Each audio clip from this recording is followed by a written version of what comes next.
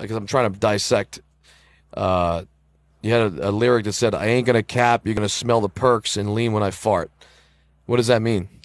Oh, it was really just like being sarcastic, but it was like sip so much lean and take so many perks. It's like your, your body flooded with drugs, and it's like as I fart, you'll smell it type shit. All right, I get it. it was like cool, How does it, It all make makes if, sense now. if you really do that, your ass need to go to the hospital.